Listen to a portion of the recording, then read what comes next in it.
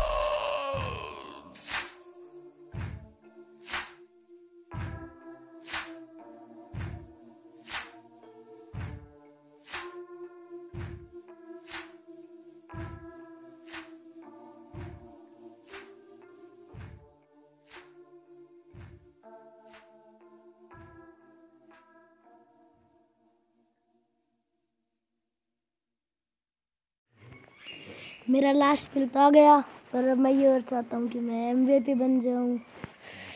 ये hundred percent load हो चुका है। काश मैं एमवीपी बन जाऊँ।